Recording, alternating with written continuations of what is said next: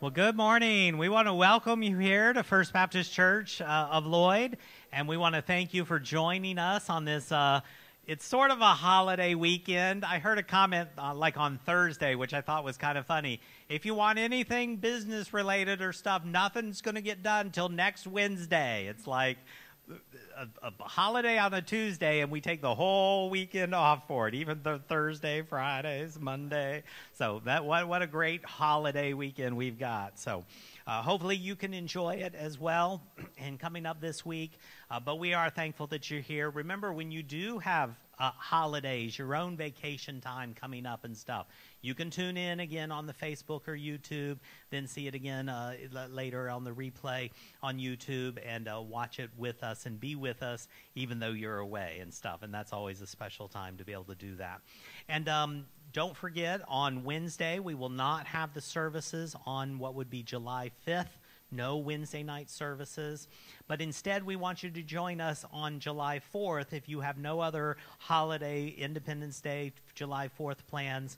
And uh, um, again, Billy and Paulette are graciously hosting us down at the River House, that they call it.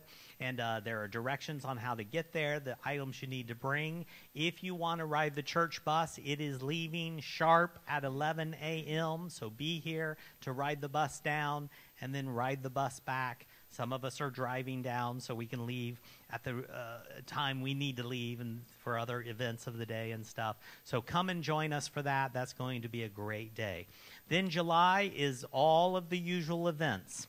You know, sometimes we say, oh, we'll take the summer off, and other times we say, we're going to keep going with everything. So we've got Lift Ladies and Silver Saints and WW Diners. Uh, we're going to have the sing along that we host here again uh, coming up on a, a July 16th Sunday evening. We're going to go ahead and share with dessert so we can get to know some of these folks from the other churches as well. So that'll be a great time. Men's Bible study. It looks like the uh, middle school has activities, the youth have some activities, the uh, college students, the 18 to 26 age, has a, a retreat coming up. So you get connected with all the people you need to connected with for all the events of July, and you will be blessed through those. So uh, let's uh, join together and thank God for this uh, wonderful country that that He has given us and blessed us with and, and, and given us the freedoms that we have in this country so that we can do this very thing to worship Him this morning. Father God, we come to you. We thank you again for the uh, celebration of our nation's uh, uh, uh birthday. It's Independence Day, July 4th. Lord, what that represents for our country. Lord, we thank you for those uh, uh, rights that were codified in the Constitution, and especially that important one that, that says we have the freedom of religion. And so we are exercising that freedom this morning by meeting here in this place, lifting up praises to you, and we thank you that we're able to do that. And Father God, we just uh, ask thou that you uh, bless this month of July, Lord, all the activities, all the traveling, the vacations, the plannings, the getting ready for school, and the things that, that are to come. We thank you and we praise you in Jesus' name. Amen. Good morning. As John said, welcome. Welcome to the First Baptist Church of Lloyd. We are going to sing, start with Oh Come to the Altar. I hope you're ready to worship because we are. And we just pray that we will have a blessed service this morning. So please stand as we sing Oh Come to the Altar.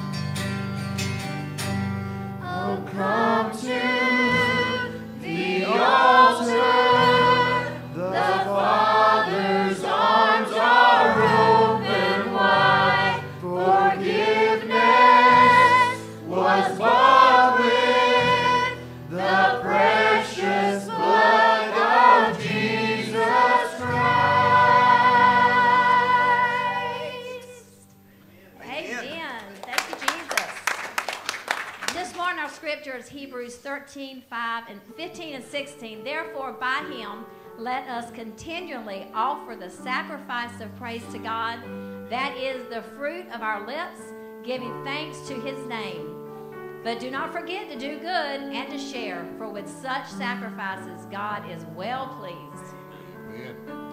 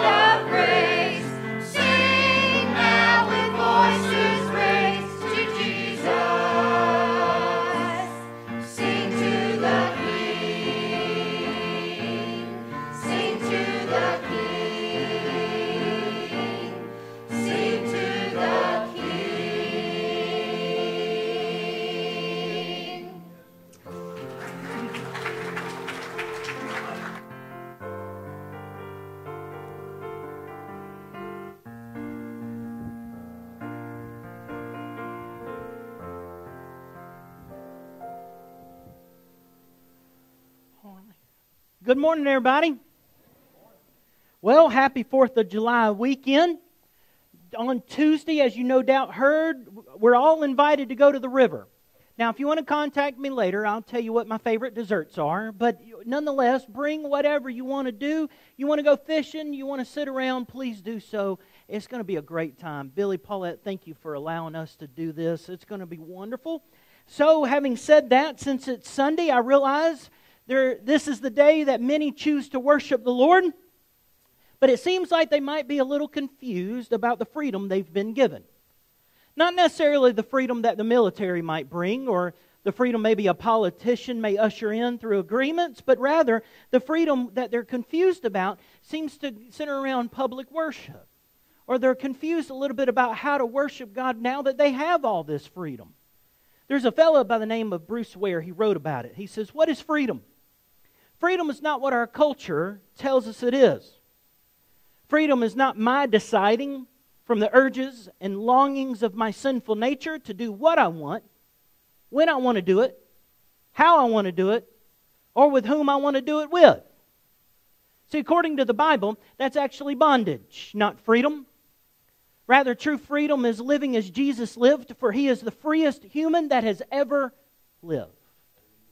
In fact, he's the only free fully free human being that not only has ever lived, but that one day explains to us that we will be set fully free when we always and only do what the will of God is. So, what is freedom? Jesus says freedom is submitting, submitting fully to the will of God, the words of God, and the work that God calls us to do. I want to start that way by explaining what a huge burden it used to be thinking that all of these spiritual things in your lives and in my lives all had to rest on all our shoulders. But what a freedom it is to cast everything on Jesus. This morning, I'd like to make a pre challenge. You ready? This is the, the challenge before the message begins. You ready? Instead of listening to this message and then going home thinking about all the things that you have to do, all I's you have to dot, T's you have to cross, and places you have to go. Rather, this morning, I would like for you to think of the possibilities of what it'd be like to give God everything. And I would argue that it would be the most free you've ever felt in your life. Having said that, let's go to the Lord in prayer and let's tackle chapter 14 of 1 Corinthians. Father in heaven, our hope this morning is that people experience the freedom you offer. Thank you for your forgiveness. Thank you for your love. There are many, though, God, that are sick and they're hurting. There are those that are heading into surgery and some are recovering from it. And I ask that you bring healing to their bodies. And I ask that you give energy to the caretakers. God, this nation is one that you brought about, and I, for one, and many others we are glad to be Americans, and we thank you for that possibility every day.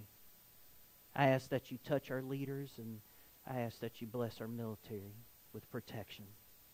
And so thank you for the independence. But may we always be dependent upon you. We pray that in the name of Jesus. Amen. Well, last week we started looking at understanding worship in public. Now, let's title it this way Worship in Freedom. Here's the deal. Let me catch you all up in case you're new. Over the last several weeks, some of you understood what I have meant when I shared that Wednesday night, not too long ago, I was teaching some of our college and young adults a Bible study that happens after our adult one. We were looking on the screens about these different ministers that were performing before their congregation. And it seemed like they were doing some really crazy things. Some of the ministers were shouting so loud, some were dancing, falling on the floor. Now, one lady on the screen, as I've said in the past, and I mentioned to some of you, she looked like she was swimming for some reason. And some of you have sent me some photos uh, that you might call memes. Some of you have sent me some videos of some people, and I can't figure this one out. Uh, I can't use them because I can't even understand what it was they were doing. But one of you sent me a picture of a minister riding a tricycle while wearing a raincoat. Now, I've used many an illustration in my life, and I can't figure that out. I could understand a raincoat with flood and I could understand storms, but I don't get the tricycle, so I couldn't do it. And actually, actually, that really summed up part of the experience of what was happening. is because, as I've said, when you're going into worship, when you're leading worship, when you're experiencing worship like we are, public and corporate, what we do matters.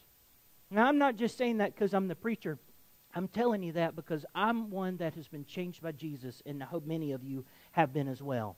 But one thing I hope you'll always understand about worshiping here at First Baptist Lloyd is that we never want public worship to serve as a distraction to others and what God's doing in their lives.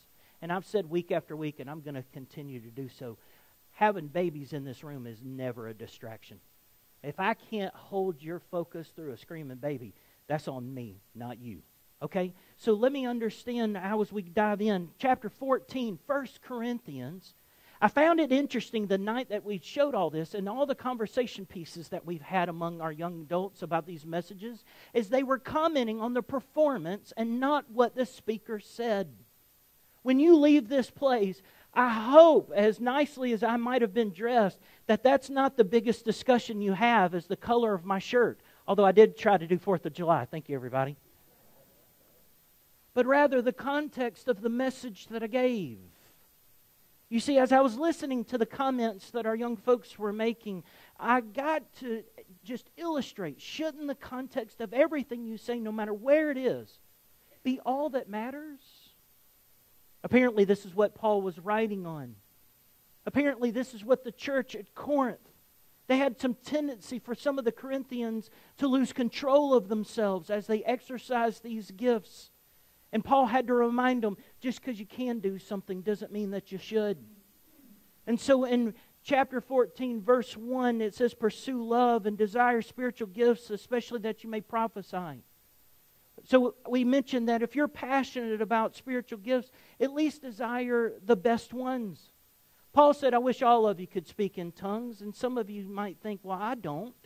Is there something wrong with me? Not at all. This is why we look at scriptures verse by verse. Because in 1 Corinthians 1, it says that even if I could speak in the tongues of men and angels, but not have love, I become a sounding brass, a clanging cymbal. In other words, even if you had the ability to speak to every man and every angel under the sun, is that really what's most important when it comes to worshiping our Father in heaven? If talking in, to angels is not the most important, what is? Paul went on to say several verses in that prophecy was the best spiritual gift because it built up the church. The church was supposed to give listeners encouragement. We're supposed to give you edification, which is to urge you to do something for Christ. We're supposed to bring you some comfort in this crazy world that we have. And so Paul says if there's a ranking system, it's pretty simple. Prophecy is best, interpretation comes next, then speaking in tongues. And so some of you say, well, wait a minute, I've spoken in tongues, or I have family and friends that have done it. Paul never devalued. He didn't deny the value of speaking in tongues to the speaker, but unless they're interpreted, they won't matter. They have no influence and no changes, which leads us to the part that I had said in verse 6 But now, brethren, if I come to you speaking with tongues, what shall I profit you unless I speak to you either by revelation or by knowledge, by prophesying or teaching? Our goal as believers is to be understood. You want to be understood in everything you say and everything you do. And we want all of you to grow in faith and in knowledge of the Holy One. So Paul says over and over in this chapter, and it's going to get even deeper in just a moment, is that unless there's an interpreter explaining what's happening, that the church is not edified. Nobody can understand a word you say, and it won't matter if it comes from God or not. If you're not doing what He wants, it is a message of null and void. As communicators, we need to learn how to pray. That our message, our method, it's understood. And in verse 16, says, Otherwise, if you bless with the Spirit, he who occupies the place of the uninformed, say, Amen. At the giving of things, since he doesn't understand what you say, our responsibility is to give something to people that they can say amen to. Now, Paul says if you're new to learning about Jesus, these people are called uninformed, which means they're not either saved or they're uninformed. They're not educated and they're a child in their faith. The Bible says that we're supposed to be spirit led, not led by your spirit. And so Paul says this is where we ought to live. we ought to live and worship and talk amongst the Spirit. And so when he said that I should live a life that people amen to, that doesn't mean from a culture perspective. We live in the world, but we can't act like the world, and the world shouldn't amen you. But they should amen the things that you do from the biblical perspective, from the God of the Bible named Jesus. And so when you say amen, you know what it means, don't you? It means that you agree.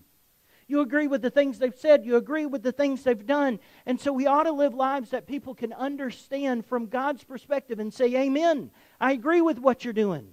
I want you to continue doing it. And so, if you only talk the talk of angels, what good would it do? So, let's understand things together. Paul is about to talk about one aspect of your spiritual life, and we should never allow this to be the only aspect of our spiritual life.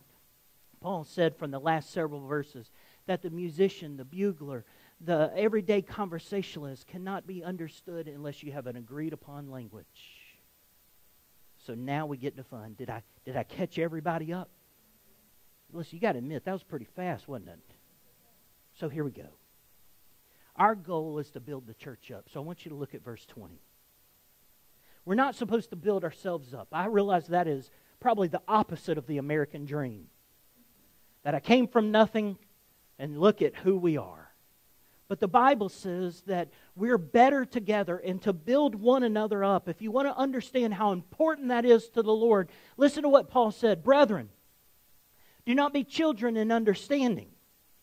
However, in malice and babes, be babes, he says. But in understanding, be mature. In the law, it is written, With men of other tongues and other lips I will speak to the people. And yet, for all that, they will not hear me, says the Lord. Therefore, tongues are for a sign, not to those who believe, but unbelievers. But prophesying, it's not for unbelievers, but for those who believe. We need to learn how to use spiritual gifts and the spiritual gift of tongues correctly. So let's get on the same page right here and right now. It's time to grow up in the faith. I'm ready to use all my cliches. You ready? Either go home or go big. Did I say that wrong? How about let's go big or go home? We could be like Nike. Just do it. Whatever these expressions I'm going in, I'm telling you, it's time to stop playing around. It's time to go all in. Let's really go for it. So now that I've got that all of the way, regarding anger, it's real simple. Be a babe. The other day, I'm walking in the store, and this cute little baby was being just unbelievably reasonable, calm, quiet, no big deal. And I could think, well, that wasn't my kid. And so all I sat, well, I was looking at stuff that I shouldn't have looked at called Oreos. And I'm looking at these things, and this person's walking by, and this other individual goes, What a beautiful baby.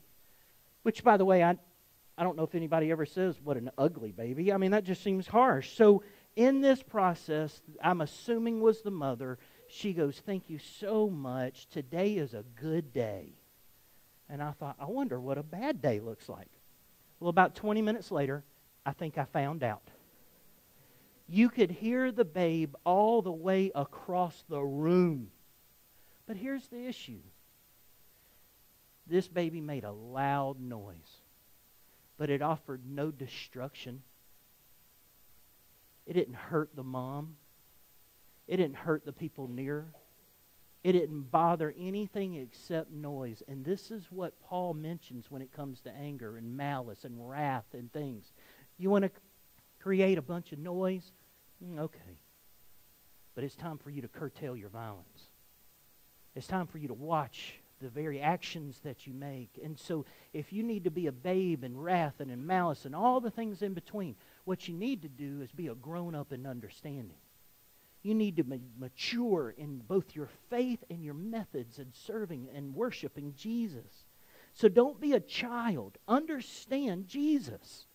I know that some people are natural skeptics when it comes to do anything with God. Some people are naturally drawn to faith and they want to know what God is and what He has done for them and how He created the world. But one of the things that both of these groups have in common is that many of them are looking for a sign that God is indeed real. They want proof that God is helping them. And they want proof, and this proof is typically called a sign from the Bible. People want to believe there's something more than what they already know, so they go looking for the possibility called a sign. Many of you can attest to this. You'll say, if this is God's will, then this will happen. If this is not God's will, then this will happen. So, in, the interesting aspect is the Bible will ask you a detailed question of is this how you're called to live? Is this how you're supposed to live life? By the flip of a coin, essentially. You see, I would tell you that if you think that's how you're called to live, I want to tell you you're actually called to live by faith. You're called to live by faith. But if you choose to live by a sign, then let me share with you about the sign of speaking in tongues so at least you'll understand it. Let's go back to the early church. As a nation, the Jews were always seeking a sign. And so Paul quoted Isaiah 28 11 and 12. It was a reference to the Assyrian army that's about to invade, and they're about to take over. And this was an evidence of God's judgment on this nation. So let me say it in a different way. You ready? God is saying, I brought this strange tongue to you so that this foreign tongue, you would ask, What in the world is happening to us? A tongue was issued so that they would cry out to God, Go, what is happening? This happens to us. I believe that every time I hear a foreign tongue, I always go, What'd they say? What'd they say? I'm just kind of curious. And I love certain accents, by the way. Mine's called Southern. I'm going to let that linger for a minute in case that came as news to you. And it gets worse when I get around people that don't have Southern accents. I say things like right and light. Do y'all understand what that means? That's taking a right, and there's a light on. Okay, God, just making sure we're all on the same page with our language. But you see, church, God would rather speak in a clear language that everyone could understand. But see, their repeated sins made it impossible. In Genesis, there was just one language. Many of you know the story of the Tower of Babel. See, because of man's heart, the sin that resided in it, their goal was to make a name for themselves. And God needed to humble them yet once again. So he caused confusion in multiple languages. And people at the time spread throughout the world and they developed cultures and countries. And over time, people forgot to bring the message of God, the Creator, who invented all these things and created all these things, and instead they began to invent their own gods. But God is a God of grace, and He's not done with people. And He wanted them to know that there's just one God in this world, there's just one Savior, and that He still cared for them. So in the past, He had spoken through them, through prophets and messengers, in their own tongue, and they still wouldn't listen. We have story after story in the Old Testament where they would come explaining, repent, turn your hearts over to the Lord, and they ignored them completely. And so it must beg the question that since this message was so simple, that all we had to do was ask forgiveness, to repent and turn our life. And so the nation of Israel for, did not want to do it. The other nations didn't want to do it either. How do you wake somebody up when they stop listening? Well, then you got to shake them how do you make them rise up and pay attention? For all these years, they were ignoring the messages of God. So at Pentecost, for the very first time since Genesis 11, since all these other languages with people would ignore, God spoke to them in a language they could understand. He gave them all the same exact message in the same exact way, which is why Paul said this is a sign for an unbeliever. The Jews weren't believers. They were in town celebrating the Feast of Weeks, and it was the 50th one called Pentecost. And so, this miracle of tongues, it aroused their interest, but it never convicted their heart. You see, no one who speaks in tongues should ever say that a tongue was used to save somebody. A tongue can't save anybody, because if they did, all of us would be speaking in tongues. But it's a message assigned to the unbeliever but it took Peter's preaching, He preached in Aramaic, a language that everyone had agreed upon, and he brought them to a place of conviction and conversion. 3,000 people got saved, and more and more were added each day. And so, as we look at edifying the church, at building the church, we learn that in order for us to be stronger together, to grow not just in number but in faith, we need to help one another speak and understand God's Word. For those of in faith, that have used speaking in tongues as a, as a sign that you're saved. It's false. That's not the evidence that you're saved. That's just the evidence of the Holy Spirit working in your life. Or the church, if somebody's visiting and they require you to speak in tongues for you to become a member. Well, anybody can make up a gibberish language. It takes the Holy Spirit to deliver a message. So listen to me, folks. Speaking in tongues is used to lead those who don't know Jesus to the cross. And then the message of the cross is presented. The Holy Spirit, right then and right there, brings conviction. And they take a step of faith and they enter into a relationship with Jesus because of everything he did from the cross, not everything you said in a foreign language. How we doing so far? Everybody smile at me. At least let me know I'm on the right page and we understand. All right, here we go. Church, there's many out there today that will say, well, I don't speak in tongues I, I, in public. I, I do it in a private way. Well, the private use of a spiritual tongue may edify the user, but it'll never, never edify the church. See, Paul told us that we ought to be zealous in verse 12 to build up the church. There ought to be nothing more exciting in your life than when you see somebody either become saved or then next follow, and I would argue so significant, is that when someone who is saved has that light bulb moment where they finally go all in with the Lord, they finally say, I am there completely. I'm reading, I'm praying, I'm growing, my life is changing. I tell you, that is one of the most exciting things in life when they finally get it. Right, everybody? And so, because of that, you're thinking, well, since speaking in tongues is a sign for non believers, then let's just invite all the unsaved people that we know into the sanctuary. Then everybody ought to speak in tongues so that all these people can be saved from back, right, left, and front and forward. Well, let's address that. You right, everybody? Here we go. Verse 23. If speaking in tongues does occur in worship, you have to have order. In 23, it says, Therefore, if the whole church comes together in one place, and all speak in tongues, and there comes in those who are uninformed or unbelievers, will they not say that you're out of your mind? We're going to have some fun with this section of Scripture. But if all prophesy, an unbeliever, an uninformed person comes in, he's convinced by all that he's convicted by all, and thus the secrets of the heart are revealed. So, falling down on his face, he'll worship God and report that God is truly among you. Here it is. This is my final point. I have more, but we're going to save them for next time. Okay, everybody? Happy 4th of July. But this one point's a little bit lengthy. Stay with me. Here it goes. When it comes to worshiping in public, this is what I'm asking you. Don't you like that note up there? Don't be crazy, be convincing. Now, I think some of you know what I mean by crazy, but we're going to go into detail. See, when people haven't met Jesus yet and they come into a public time of worship, we want them to see us as different. Absolutely. But not crazy. See, what a sign that would be. When I enter into a public worship service and people are speaking all in kinds of different languages, speaking nonsense words, and then acting foolish, can you imagine? This is what Paul says that this is what he actually witnessed at the church of Corinth. Remember my last week's statement about an orchestra warming up and how crazy that is? You ever been to a zoo and seen a flock of animals just all going crazy and you don't understand what they're saying and they get louder and louder?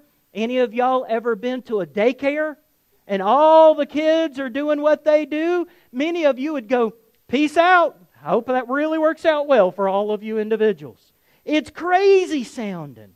You can't make sense out of all that chaos, Paul says. And all the sounds occurring at one time instead of admiring it all makes me want to leave. Can you imagine what it would make an unbeliever want to go? I once took a youth group to a concert It was at a church that we had never been to. It was a fun little concert. The concert was over, and the speaker got up and he goes, It's now time to do some healing. And I thought, Ooh, I wonder what he means. I should illustrate the fact that I was 19 years old, my first time as a youth pastor, and I didn't know what I was doing. Can I get an amen? Y'all didn't know me back then. All right, so here we go. We go to this service, and I'm completely overwhelmed. And all of a sudden, the speaker is on stage, and he shouts out some like thing, and he does something like this. And I look down the room, and this 13 year old girl in my youth group was like, mm mm. And this other guy in my youth group, he's big and bad and bold and all these things. And he goes, I ain't going up there. And I was like, well, what am I supposed to do? And so all the youth group, this just shows you how loyal a youth group can be. They all go, Jared, you go up there. so I'm sitting there and I'm thinking, you know, I think it's an appropriate time for us to go home.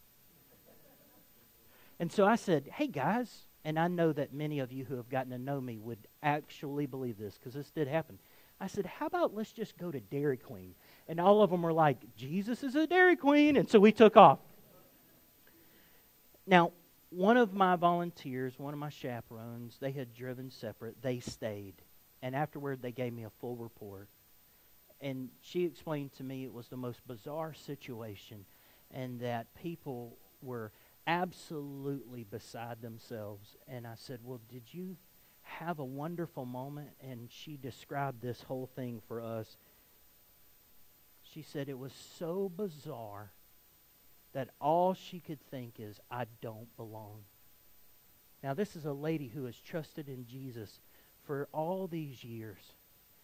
That's not what a church is supposed to make you appreciate. Whether it's your first Sunday or your hundredth, we want to welcome you into God's house God's way. Not Jared's way and not anybody else's, but the way of God's Word. And so, because of that, if I saw that as a believer, knowing that I would leave, how much more would a non believer leave, Paul says? See, that's the truth of an unsaved person, is that they would probably be so scared or so uncomfortable that they would actually leave prior to the interpretation of God's Word and the explanation of what was occurring. So, how does the spiritual gift of tongues work in our services? Well, since they cannot and will not save you, otherwise God would have told us we all needed to, we need to realize that because it's a sign for the lost, we ought to do what Billy Graham says. I love what Billy Graham used to say. He said, People won't know they need a Savior until they know they're lost. Did you know that it's possible to be raised in a Christian home? To go to a Christian church all your life? To say things out loud? To eat the food at fellowship times? It's possible to take the Lord's Supper. It's possible to listen to sermon after sermon and read the Bible all the time and still not know who Jesus is. Without the step of faith saying, You are my God, and I'm asking you to forgive me and make me brand new. Without declaring that He's your one and only, what is it that you're really about? You see, in the marketplace, if you're at work or at school and a foreign language is spoken, perhaps you've wondered what that individual says. And because in public worship services, we know people want to know what we're saying, the Bible says that if a tongue is used and is spoken, it is spoken to non believers. And so that's where I hope that an individual who speaks in a foreign tongue, when their message was translated not by them, and we'll learn that next week, that they will explain to all the non believers this is the message of God, that you need forgiveness. And that because you have committed sins, there is one Jesus. He gave his life for you on a cross, and he wants to forgive you. Do you want it today? You see, I hope they said because Jesus really is real and that they've been searching for gods in other areas, and that's the reason it hasn't worked. That Jesus will save them. All they have to do is ask. See, in our public worship services, we have many different believers here today that were raised in different faiths, and we have learned that when you use spiritual gifts appropriately at the right time in the right place, that it'll lead to the worship of God and people will see God at work. You see, that's our desire today, is that we hope you came and you had an experience with the Lord, not an experience with just something as worshipers of God, we hope that we'll lead you to a place where your heart's open. So I've got to ask you, is your heart open today? Or did you come in with that huge wall built around it, going, I've trusted enough people, I'm not going any further? Did you come into this place wounded and so your heart is beating just enough? We want to invite you to open your heart to the Lord this morning. The reason is is we want you to truly experience God. We want you to see Jesus in us. We want to show you that we didn't put our lives together, but instead we brought our lives to Jesus and he sorted everything out for us. This is why we teach in the gift of prophecy. We teach the ability to understand the Word of God and the calls that He makes on our lives. And because we don't want you to see us as crazy, we don't want to do all these public signs that scare you off. We want to convince you that there really is a Jesus and He's really living among us. And so He has called us to spend eternity with Him. And we want to invite you to come along. This is why we don't emphasize speaking in tongues in public worship services. But we do emphasize the building up the church. I need a few more minutes of your time. You got it? I'm not chasing a rabbit, I promise. It all fits together. So it goes like this. We want to emphasize edifying you, which is called the church. For those of you maybe new, the church is not a building, it's a group of people. See, you can raise many a building, but a building never changed anybody, but lives have been changed by Jesus, and God uses us to do it. We want to exhort you in the name of Christ, and we want to urge you to do something to follow Him more closely. And so, this is why we try to speak comfort together. We know, understand how hard life can be. It isn't our job to tell you how bad the environment is or how bad politics can be or how bad the economy is. Do you really need that lesson from somebody like me? You hear it enough, don't you? What you need to hear is that our nation's problems can't be solved by those who created them, but our lives can be changed by the God who created you. And so let's close this section out by using the gift of prophecy. I want to edify the church. I want my life to be an amen, and I want yours too. See, I want to share with you a, a brief testimony and convince you of the truth of God's word, but I want to do it through a parable. In Matthew 25, there's a parable of the talents. See, in this room, many of you have talents, and I don't want our Christian lives to be a, a talent where we live in public view of people and we're the really good people, but behind closed doors, we're awful. I don't want your life to be a performance. I want your life to be one that people look at and they want to be like because you want to be like Jesus. So when Jesus was speaking through the parables, he spoke of one that examined the servants that were given talents. The first two servants that Jesus spoke of, the Lord of the parable gave talents that measured seven. To one he gave five, to the other he gave two. Both of them doubled the investment for the Lord, and when they reported the good news, his reply was simple in verse 21 and 23. His Lord said to him, Well done, good and faithful servant. You've been faithful over a few things. I'll make you a ruler over many things. Enter into the joy of your Lord. See, the Lord said the same thing to both because both of them took what God had and doubled it. Not just because of the importance of that, but rather they did things that he wanted them to do. However, there was one more servant in the parable who was given just one talent.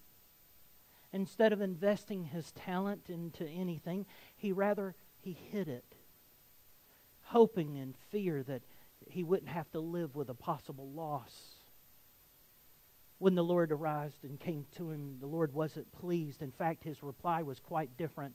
In verse 26, the Lord answered and said to him, You wicked and lazy servant, you knew that I reap where I have not sown and gather where I have not scattered seed, so you ought to have deposited my money with bankers, and at my coming I would have received back my own with interest. So take the talent from him, give it to him who has tal- ten talents. For to everyone who has, more will be given, and he has an abundance. But from him who does not have, everything he has will be taken away and cast unprofitable into outer darkness. There'll be weeping and gnashing of teeth. So perhaps what I'm saying now is just as much a foreign language to some. You see, like Paul's message at Corinth, God has given us many gifts. He's given us many abilities. The gifts of the Holy Spirit only come from the Holy Spirit, and how we use them is a perfect indicator of our dependence upon Him. And so I want us to be mature in the faith this morning. Speaking in tongues is just one of the gifts of the Spirit.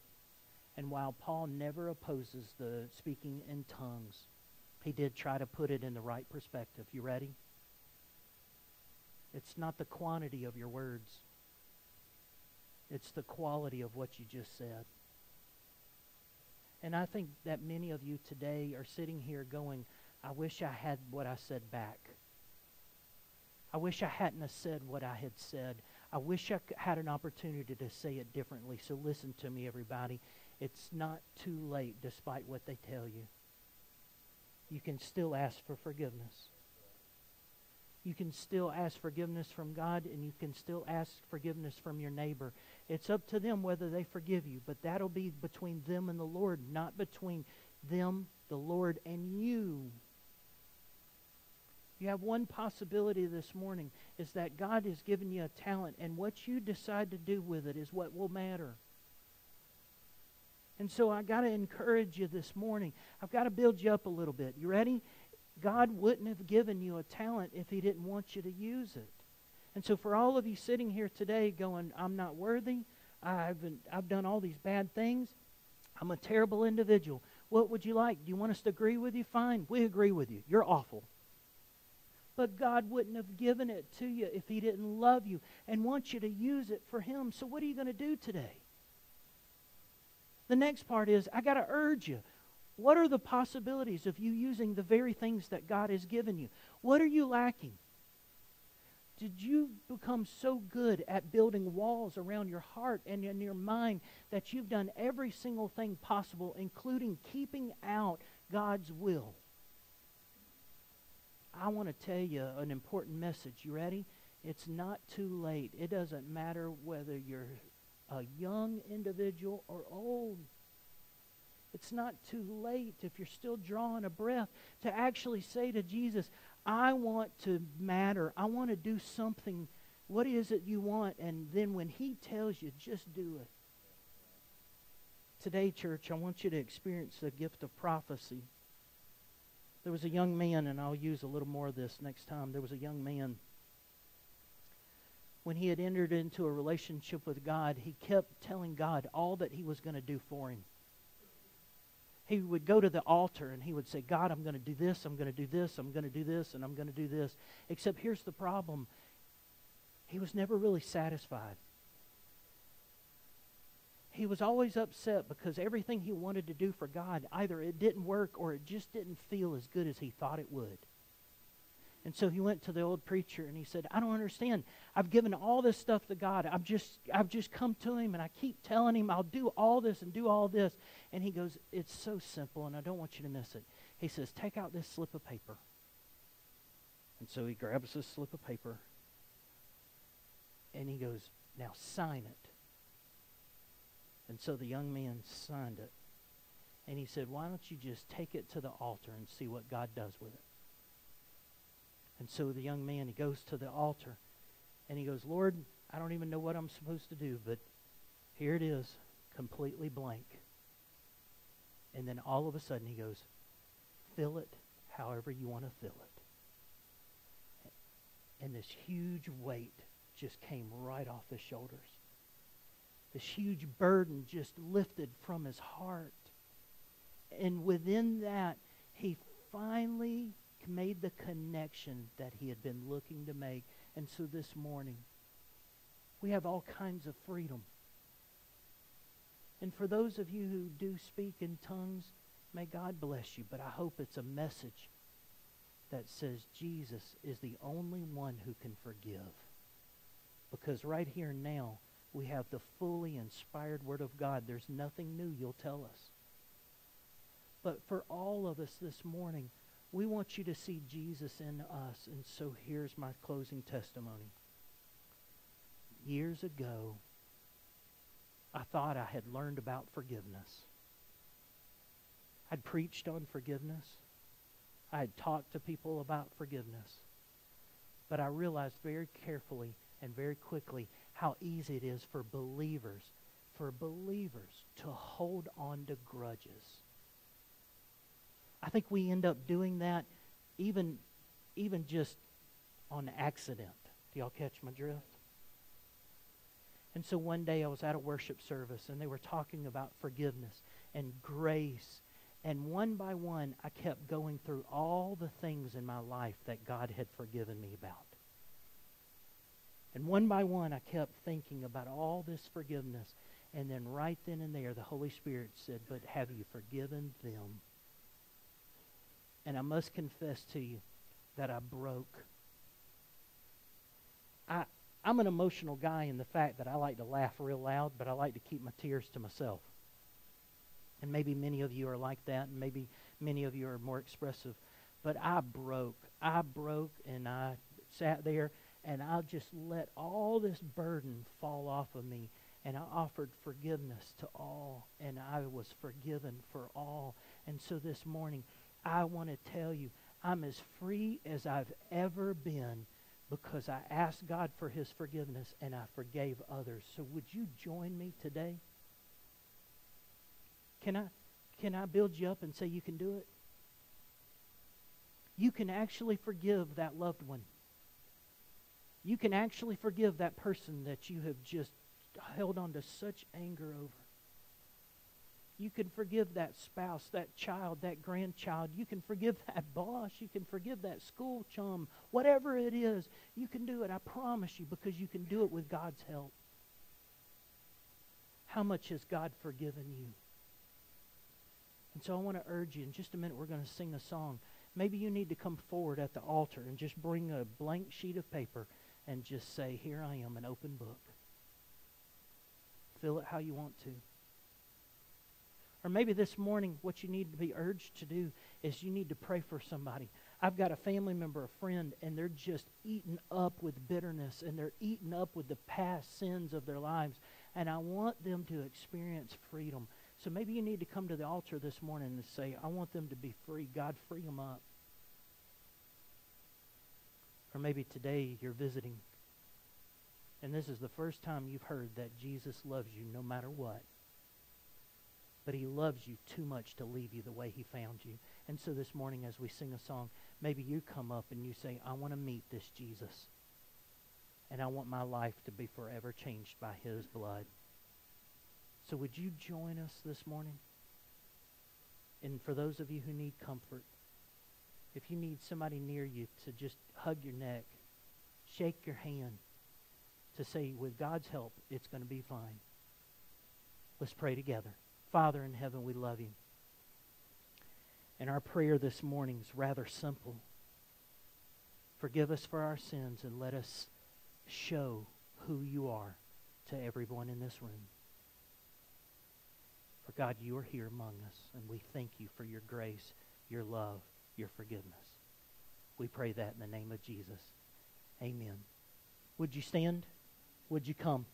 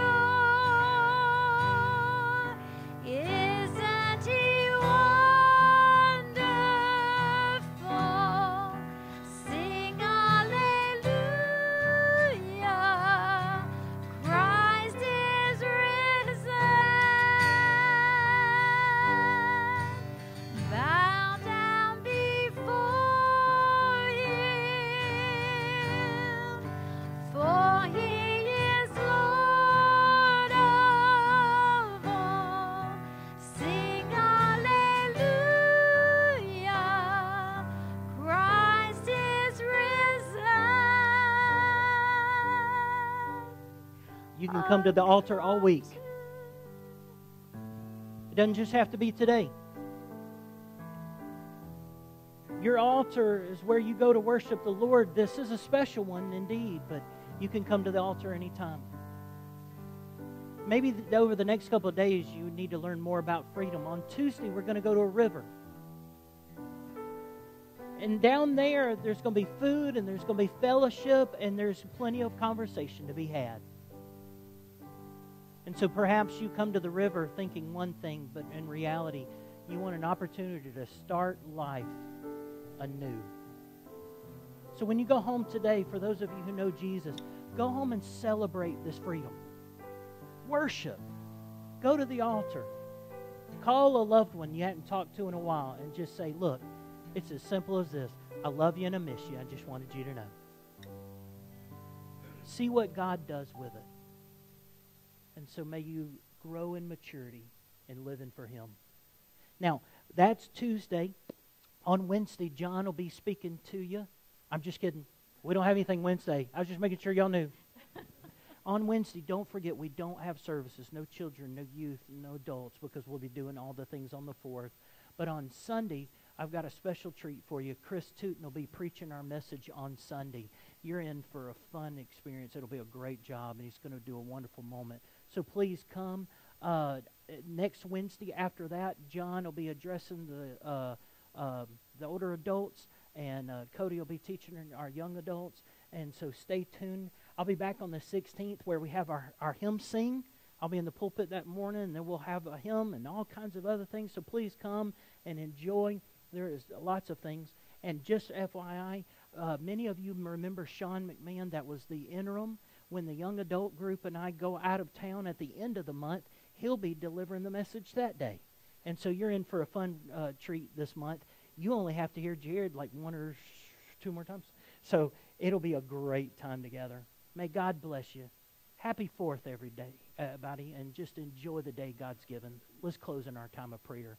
Lord, we love you, we praise you, and we worship you. And may we live in the freedom you've offered us by doing your will.